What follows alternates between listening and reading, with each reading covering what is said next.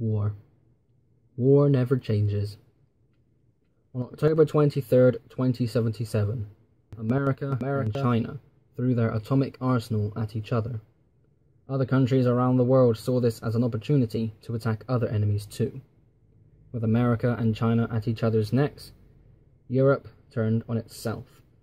Half of them went after the United Kingdom.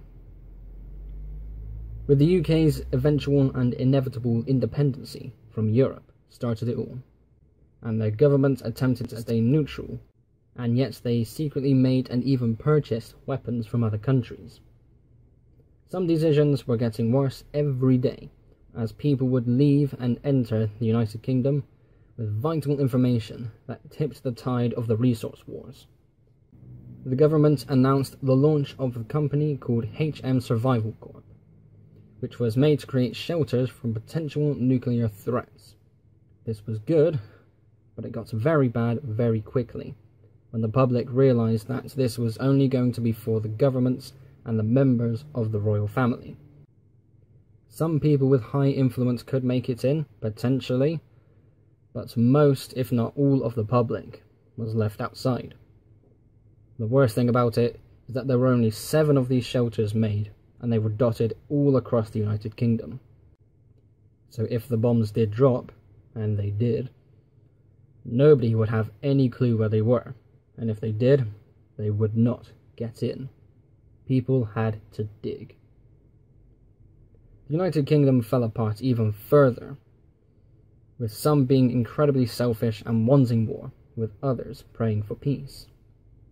In the year 2069, the UK was officially renamed to the Britannia Isles, uniting Wales, Scotland, England, and Ireland into one big country. They conceded the whole peace thing when the United Kingdom, now Britannia Isles, launched their Mark IV power armor in response to America's T 45 power armor. Weapons tech also increased. The day of the bombs, October 23, 2077. Southeast England, most of Scotland, and all of Wales was destroyed. Ireland turned into a collection of cracked islands covered in radioactive mist. The only thing that lives there now are ghouls. Feral or not, it doesn't matter. Nothing and no one gets in or out of that place. Nobody knew or really cared if any of the royals or any politicians made it to the shelters, knowing their selfish ways. Not everybody was able to make it to safety either when the bombs dropped, but to those who did, they were happy. When they stepped outside, their smiles were gone. The world had ended. Britannia's governments did nothing to protect their people. December 31st, 2299. This story begins. Ladies and gentlemen, this is Fallout Britannia. This is a story that I have been writing for a very, very long time, and only recently I have perfected it. Now, just before we continue, this is set in the Fallout universe, so anything I say against politics or any royals, it's not a serious thing. It's just, again, its own little story that just sets in the United Kingdom in the Fallout universe, and it's something I've wanted to do for a very long time.